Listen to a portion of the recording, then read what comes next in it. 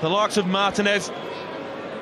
Grant's had to come out to Mark Martinez there. That's created a little bit of a hole. Djulbic just has to come across to deal with that. Santalab gets on the shoulder of Djulbic. There's a hint of offside. There's no doubt about that. But then when Santalab gets the chance, he gets there before ready.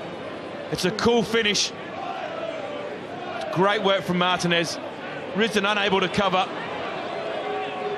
But was Santalab